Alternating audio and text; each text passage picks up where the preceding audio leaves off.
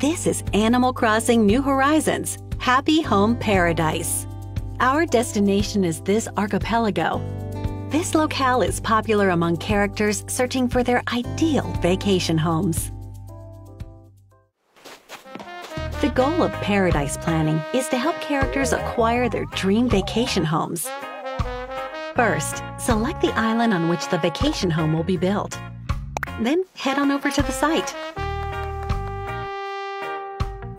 Place the designated furniture requested by the client. After that, everything else is up to you. Create depth by adding lighting to the ceiling. Spice up a wall with some wallpaper as well. It looks fantastic! Why not suggest ideas for the yard? The home's location and exterior can be modified too. And with the ability to modify the season, time of day, and weather, you can bring a design to life that's in perfect harmony with nature.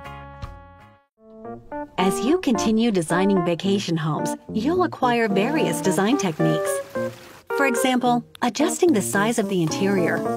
You can use partition walls to divide the space counters with two different heights, and pillars that support the ceiling. Each can help change how the home is structured. Lighting can be adjusted as well to enhance the overall mood. And you can incorporate soundscapes to add depth to the home's atmosphere.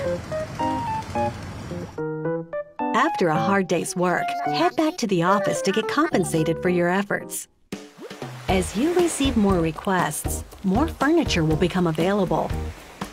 Why not visit clients you've helped out before? It might be good to suggest remodeling their vacation home with different furniture. With your recommendation, two clients can share a vacation home. We hope they love sharing their new piece of paradise. The island on which Lottie's Paradise Planning Office is located has a lot of vacant buildings. You can help Lottie design these as well, such as a restaurant. Other facilities, schools for example, can also be developed. Design techniques acquired while working with a Paradise planning team can be used on your island. And by gifting your residents a special souvenir from Paradise Planning, they may even ask you to design a vacation home for them. Who knows? Someday, after you've designed a certain number of homes, you might even be able to suggest home remodels to your island residents. Turning every character's dream into a reality with thorough and creative design. That's the work of Paradise Planning.